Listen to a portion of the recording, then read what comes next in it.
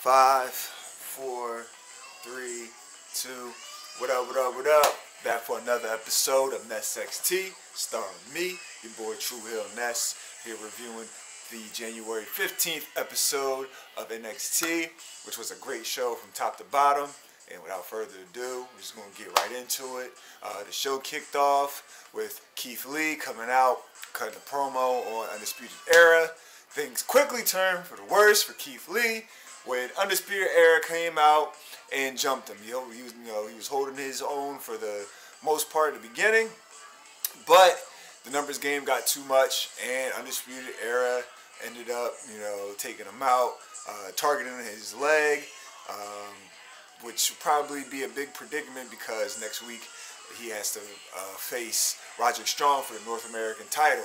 You know, but again, you know Keith Lee, big strong boy, big strong man. I'm sorry, because Tyler Bate is the big strong boy. Keith Lee is the big strong man. You know, but you know we're gonna see how that plays out. Um, the opening segment wasn't. It was all right. It's um, getting a little bit repetitive with the way things happen. You know, somebody cuts a promo on Undisputed Era, they come out, they either jump the person or you know whatever happens after the fact.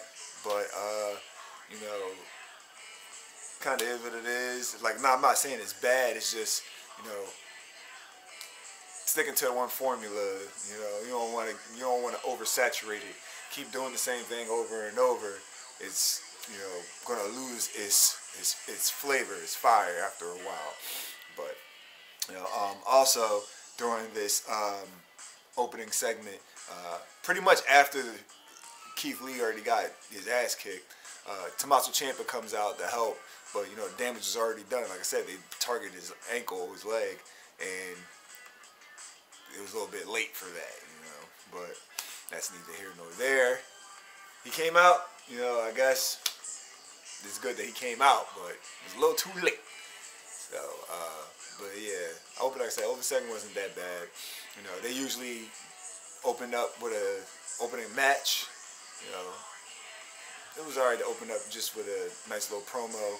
You know, one of the bigger, the, the big stars right now going into a big moment, a big match he has coming up next week. So, you know, it, it was a nice little uh, change for once in the opening episode of NXT. But, you know, now we're going to get into a match. And this opening match was the match of the night. Superb match of the night. It was a Dusty Rhodes uh, Classic Tournament Tag Team match. And we had the Bruiserweight, uh, or I should say, the team of the Broserweights, the Bruiserweight Pete Dunne, teaming up with the Bro Matt Riddle, versus NXT UK's Flash Morgan Webster and Mark Andrews. And when I say this match stole the show, this match literally held NXT at gunpoint and took whatever it owned. Yeah, yeah, just like that. Yeah, yeah. Like that analogy? I love it. But nah, this match was dope. It was great from top to bottom. Um, it was so great that uh, pretty much, uh, well, I guess not that great. That you know, WWE star Baron Corbin was fucking watching uh, Dynamite, you know, but he should have been watching this match. Fucking idiot. You over there giving your competition views when you should have been giving your company some views. Fucking dumbass. Anywho, back to this match, man. When I say um, the match starts off like everybody getting into like a stalemate of countering. You know how like the lucha libre standoffs. I love those, regardless of you know how little or how much it goes on. The the stalemate showing that both teams aren't gonna uh, go into this match giving up without a fight, and they're gonna give it their all, and they're pretty much equal when it starts off. Everybody's gonna be on their game. That's always great to open up a match. Um, uh, as the match goes on, it was just a lot of innovative tag team offense from the uh, strange team of Pete Dunne and uh, Matt Riddle. Again, this team, makeshift tag team, you know, but that's the thing. A lot of, like half of these Dusty Rhodes Tag Team Classics have won, have been won by makeshift tag team. You know, Finn Balor and Samoa Joe and um, uh, uh, Ricochet and Aleister Black. You know, these guys aren't a conventional tag team, but they go out there and they look like they are a real tag team and have been tagging with each other for years. And that's exactly what happened with Pete Dunne and um, Matt Riddle. And that's not not taking anything away from Flash Morgan Webster and Mark Andrews because these guys definitely fucking brought the fire. They brought, definitely brought the fight to Matt Riddle and Pete Dunne. Um, again, this match had a lot of hard hitting, striking offense, a lot of high flying, uh, a lot of high flying offense from um, Mark Andrews and Flash Morgan Webster. Like these guys just like Flash Morgan Webster and Mark Andrews just had a crazy ladder match at NXT Takeover Blackpool 2, and then they come on to uh, NXT and have another great back-to-back, like back-to-back great tag team matches. Like these guys are the unsung MVPs of the week. You know, they went out there, did their thing over there in the UK, and they came to the States and put on an equally, if not even better, you know, because at least this wasn't even a gimmick match. This was just a regular tag team match, and they still had that much intensity and had the crowd on their edge. Everything about this match was just amazing. I can't praise it enough. Like this definitely was match of the night. If you don't watch anything else on NXT, this is the match that you need to go out of your way to see. I'm not capping. I'm not hyping this up for no reason. This match was great. Um, me personally, the style that these guys wrestle, I'm a huge fan of. Um, the, there's like the quote unquote fighting spirit that you get from uh, like New Japan or just J- Japanese wrestling altogether. I know a lot of people, you know, don't like it. They say, oh, there's a lot of no selling, and they sell. They just don't sell the way you want them to sell. Like they don't react to moves or have the psychology that you want. That doesn't mean that they don't have it at all in the match. It's just, you know, it's just not for you. But it's for other people. And I'm one of those people. So again, this match was fucking dope. I can't praise it enough. Um, the end of the match came from Pete Dunne hitting, well, Pete Dunne and Matt Riddle hitting a uh, bitter end uh, bicycle knee combination, which was crazy. It was a lot of, again, there was a lot of crazy double team moves in this match. Um, these guys it was just amazing. Like I don't feel like honestly, I don't know how to, to explain it. This is how great the match was. Like I'm not gonna run down all these different spots and shit like that because it's you know I'd rather you go out. Like I said in my NXT Takeover Blackpool review, I'd rather you watch the match.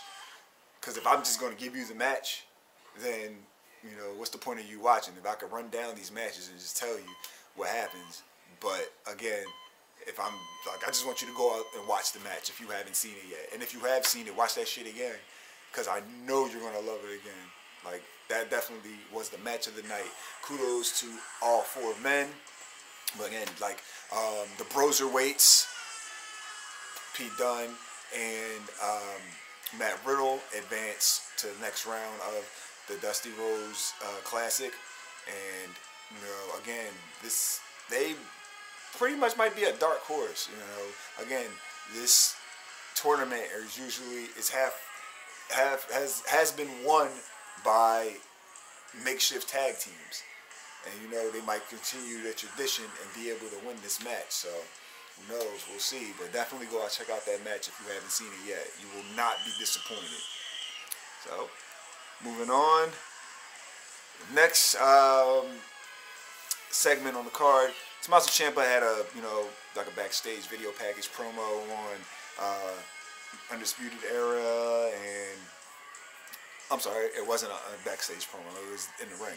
Um, Tommaso Ciampa comes out, you know, he cuts a promo on Undisputed, Undisputed Era, pretty much almost a remake or just a repeat of what happened with Keith Lee. Um, this time, Tommaso Ciampa had a better showing than Keith Lee, Because out comes Johnny Gargano. We get a quick DIY reunion. You know, everybody's in their fields, and they say, "Oh, DIY, they're back together again." As as of right now, which makes sense. You know, Johnny and um, Johnny and uh, Tommaso both are face. You know, they're both fighting against. Uh, well, both fighting against like undisputed era. Finn Balor on the side, but you know, Finn took a, took this week off. Um, so you know, it made sense for Johnny to come out and help uh, Tommaso Ciampa. Uh, he came out way quicker than Tommaso Ciampa came out to help Keith Lee, but you know, he still came out. They still fended off Undisputed Era and did what they had to do. So that segment was decent. Moving on to the next match on the card. This was another tag team match in the Dusty Rhodes Tag Team Classic. We had NXT UK's Grizzled Young Vets versus the Time Splitters, Alex Shelley and Kushida. Um, this was a solid match. Uh, no, to no fault of their own. Um, it was going to be hard to follow the tag team match that happened prior with uh, the Broserweights and Flash Morgan Webster and uh, Mark Andrews. You know, like again, that match was just so high octane and uh, so action packed that anything after it was gonna look incomparable. But um, these guys had a solid match. Really can't say anything bad about it. Um, yeah, that's pretty much it. Like nothing, nothing too crazy. You know, they both both teams had their offense and both teams looked good. Um, I'm actually surprised at the finish. Um, NXT UK Tag Team, um, the Grizzled Young Vets, Zach Gibson and James Drake, they won. I did not see that coming, which was a great, great, great surprise. Um, going into the whole Dusty Rhodes Classic Tag Team Tournament, everybody pretty much, everybody pretty much thought that the NXT UK Tag Teams were going to be, you know, squashed that it was just going to be just the regular NXT brand tag teams moving to the next round. And the fact that, you know, the Grizzled Young Vets got this victory over Kushida and a debut on Alex Shelley really boost their momentum to the next round and for their next match, you know. Again, who expected, you know, bringing in Alex Shelley?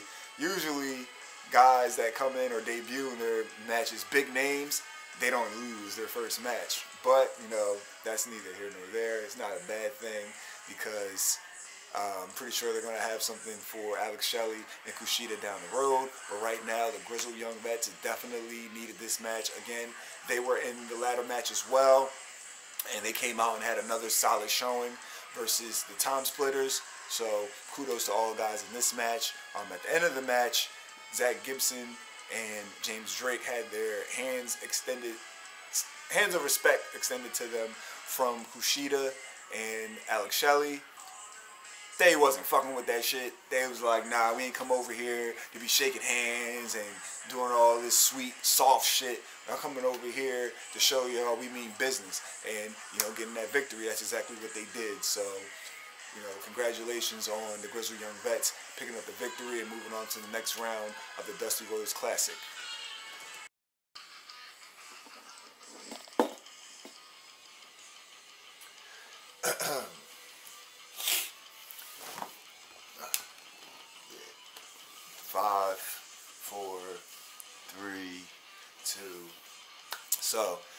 Next on the show, there was a backstage video package, promo, whatever the fuck you want to call it, for Robert Stone, the Robert Stone brand, and his newest, hottest client, uh, Chelsea Green. Uh, I'm reserving judgment on this whole thing. Uh, one good takeaway that I got from this is the role reversal. We're usually used to the female valet slash manager and the male wrestler. And now, you know, with the whole women's revolution and all that other shit that they're trying to do in uh, WWE, I commend them on actually having the male uh, valet and or manager, if you will, in this uh, scenario with the female talent. You know, we're so used to always seeing the females, you know, managing the males, you know, from from old school Miss Elizabeth and Luna and uh, Bam Bam Bigelow or Luna and Goldust and um, what's her Marlena and Goldust, you know. Sensational Sherri and Macho Man, Sensational Sherri and uh, HBK, you know, and then like even in recent years, you know, Lana and Rusev, or right now Lana and Bobby Lashley, that shit, um, you know, and then we got like uh, Zelina Vega with um, Andrade, so this is a unique and different uh, way to play out that type of uh, scenario far as manager and uh, client. Um, something different. So you know I commend them on trying out but let's see we're gonna see where it goes uh, again I'm gonna reserve my judgment because I'm not too uh, familiar with Chelsea Green's in-ring work um, going back to her being the hottest client on the Robert Stone brand. Um, you know, I give her props for that. It's very nice to look at. You know, can't say much about that. But that's only going to get you so far with me personally. And this is my show. So that's how I feel about it, you know. She can look as good as she want to fucking look. But if she sucks in the ring, you're going to hear from me. And I'm pretty sure that if you watch the show and keep up with, you know, how I judge talent, Ooh, excuse me, I'm gonna keep it all the way 100. You know, regardless of how give a fuck how she looks. You know, that's not what I'm here for. I'm here for in-ring ability, you know, and a character that can drive me to actually want to care about the individual that's on my TV screen. So, again, I'm not going to go too hard as of right now. We're going to see when it goes down the line. Whenever she has her first match, I'm going to, that's when it's all going to come out. So, again, right now, I am slightly intrigued, again, for the dynamics of the male uh, valet and the female talent. So we're just going to see where it goes from there. Moving on. Next was a uh, video backstage, uh, video promo of Finn Balor discussing his upcoming match with NXT UK talent Ilya Dragunov. That's going to be going on at um, NXT versus NXT UK World Collide event. Um, this is a match that I really didn't care to see, and not in a bad way. It's just like I didn't have the thought of seeing it, you know. Um, after it being announced, then I'm like, all right, this is interesting. This is something that, you know, I feel as though this match is going to be a sleeper. Um, first of all, the Worlds Collide event is stacked from top to bottom, and there's a lot of potential matches of the night on the card. But I think this one's going to fly under the radar and going to be a sleeper. Um, not too many people are talking about it, but that's like that's the good thing, you know. These guys are going to go out there and since there's not too much pressure on them, far as you know, it's not being a title match or um, you know advertised as much as the rest of the card may be that's just going to work in their favor for them to go out there and show people that it should have had that much fanfare behind it. Uh, I feel as though NXT version of Finn Balor can, you know, go back to having great, good to great matches, not like the bullshit he was doing on uh, Monday Night Raw and Friday Night SmackDown. You know, these guys are pigeonholed into doing a whole, like not being able to wrestle to their full potential and then being in the NXT brand, it's definitely, uh, they get a lot more leeway to have way better matches. So again, I'm looking forward to see that match coming up at the Worlds Collide event. And I believe it's going to be a potential match. It could be a potential match of the night. Definitely a show stealer. So be on the lookouts for that. Next on the card was a triple threat match for number one, or not number one, but for entry of the Fatal 4-Way match at, um, again, Worlds Collide for the NXT Cruiserweight Championship. Uh, Angel Garza will be defending his title uh, against, right now, uh, well, I'll into it. Angel Garza going to be defending his NXT Cruiserweight title in a Fatal 4-Way match. So, this episode of NXT, we had Lio Rush versus Isaiah Swerve Scott versus Tyler Breeze, all fighting for a spot in this uh, Fatal 4-Way match at Worlds Collide. Um, this match was super action-packed, a lot of high flying, a lot of striking, you know, pretty much the indie style of wrestling that I'm so much a fan of, or just the, you know, the overall NXT style that, you know, fans love to see. They tune in each week, and these guys definitely didn't disappoint. Um, one one uh, point in the match. excuse me. One point in the match. Uh, one thing that I like.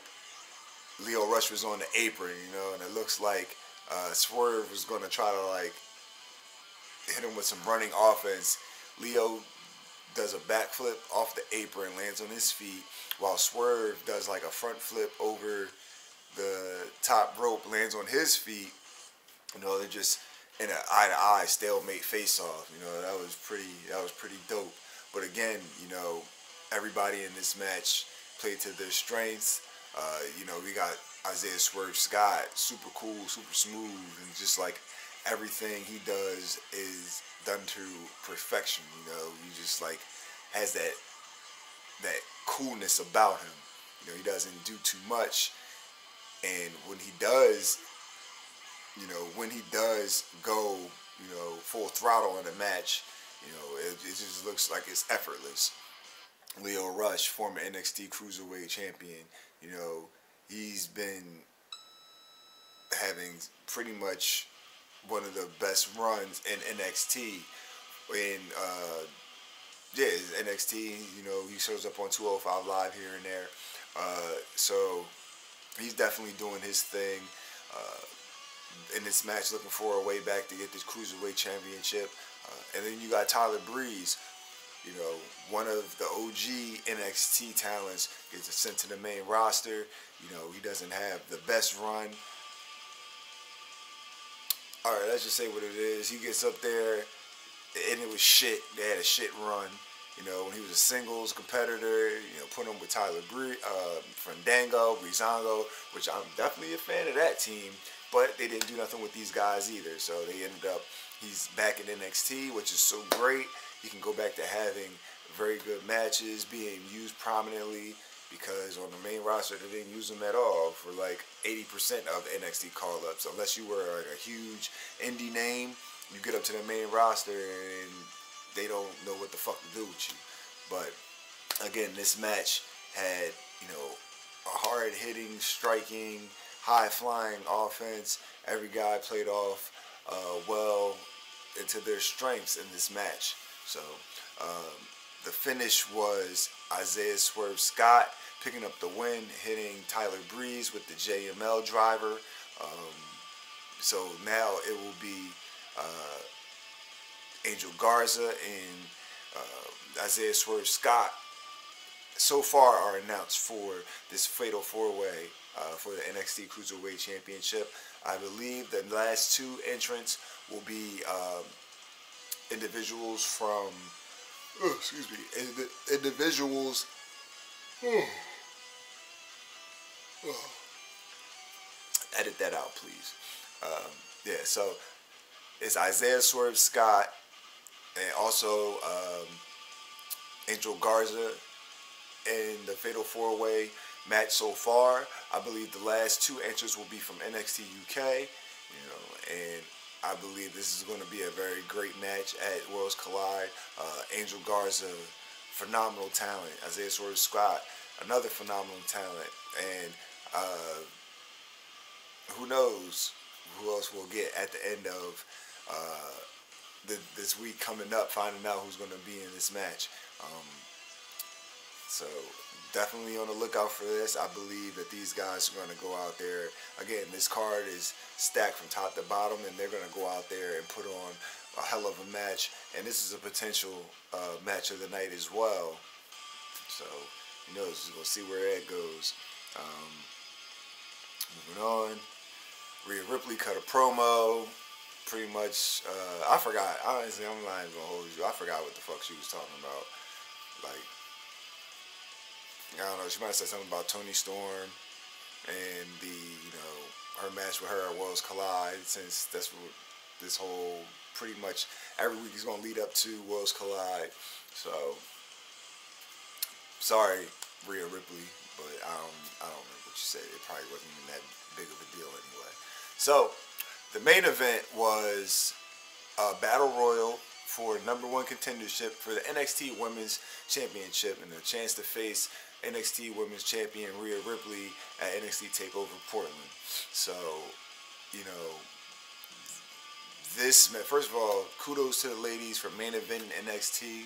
Um, this match was filled with, you know, the top talent, top female talent in NXT. You know, we had Candice LeRae, Io Shirai, um, Bianca Belair, uh, former NXT Women's Champion Shayna Baszler, and a debuting Mercedes Martinez. If you are not familiar with Mercedes Martinez, you need to do your research. She is the real deal. She is legit one of the best female competitors, if not in the WWE now, just in the world completely. You know, I know she's been wanting to get there for quite some time, and what better way to introduce her and be able part of a brand than be a part of NXT where she could actually go out there and have matches that, you know, put her at her full potential, you know, instead of just going on the main roster having those bullshit, those, you know, all that dumb shit that they do up there. But, you know, honestly, I don't really have much to say about this match. Not that it was bad, but it was a fucking battle royal what else am I supposed to say? People got eliminated, you know. All the ladies had a great showing. It was I forgot how many of them there was, but they all, you know, came out, did their thing, and the final two that it came down to was Io Shirai and Bianca Belair. Uh, either the last episode or the episode before that. Um, yeah, it was actually the last episode, I believe uh, I touched on how the Io Shirai and Bianca Belair was going to play out into the future. Negro Damas, I'm just saying. Yeah, so, you know, how their match ended the triple, the, the six women's tag match where, you know, Io Shirai hit a drop kick on uh, Bianca Belair, you know, after a few miscues during the match. Uh, so that was the way that Rhea Ripley pinned, um, yeah, Rhea Ripley hit the riptide on Bianca Belair that night. You know, picked up the win for her team, team of herself, Candice LeRae, and Toni Storm. So it was just like a nice bit of storytelling that the last two people in this match was Io Shirai and Bianca Belair. You know, because they kept playing off on the friction that these two individuals have had since uh, the last match that they were in. Um, again, uh, Bianca Belair picked up the win. She's now going on to face NXT Women's Champion, uh, I'm sorry, Rhea Ripley at uh, NXT TakeOver Portland. Um, overall, I think that there are, you know, I'm, I'm not, I can't say it really bad. These are phenomenal talents, phenomenal female talents. Uh, I know people might not want to see Bianca Belair face Rhea Ripley. But, you know, Rhea, for one, Rhea just got the title. I doubt, I highly doubt she's going to drop it anytime soon, you know. Um, she gets to go out there with another amazing athlete is just another amazing performer and Bianca Belair potentially having another uh, that's another potential match of the night because you know the ladies can do it just as well as the men you know we know we're not biased or sexist over here whatever they can do. Whatever we can do, they can do. Some can do it better, you know. It's all in the talent, and these are two extremely talented females. And uh, I believe that I again, I don't think Rhea Ripley is going to drop the title to Bianca Belair, but you know, nice little filler, quote unquote feud, quote, um, filler match. So to keep Rhea Ripley busy and to give a highlight of again one of the best, if not, yeah, one of the best um, women on the NXT uh, roster. You know, so we'll see how that plays out. Uh, overall, that was the end. Yeah, that's that's NXT. Um, oh, I'm sorry. Another special match that was made for the Worlds Collide event. Uh, we had Mustache Mountain, the team of Tyler Bate and Trent Seven, issue a challenge to DIY, Tommaso Ciampa, and Johnny Gargano. Again, that's another, that's what I'm telling you guys. You want to definitely tune in for the Worlds Collide event. Like this star, this show pretty much has a card full of main events as like regular matches, you know. Everything on this card looks very, very, very good. And uh, again, with Mustache Mountain issuing a challenge to DIY, you know, for first time ever, that is match of the night.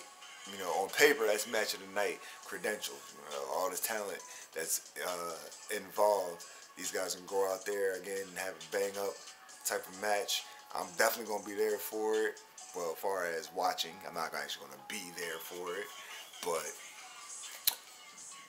nonetheless, I'm going to be hyped. It has me hyped. The whole event has me hyped, to be honest. So, all in all, this was NESXT. If you would be so kind to like the video, subscribe to our channel, and you know, leave your thoughts in the comments. If you agree with some of the things I say, maybe you don't agree with some of the things I say. Who knows? This is your chance to go out, uh, go on our YouTube channel and leave your thoughts. You know. Uh, also, uh, don't forget, don't forget, don't forget, don't forget to like us on Facebook. Follow us on Twitter at Tru Heel Heat. Also follow us on Instagram at Tru Heel Heat.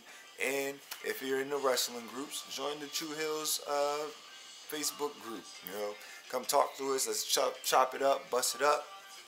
You know, have a little fun, a little internet fun. so this was Ness XT, star of me, your boy Tru Heel Ness, and we'll be back next week.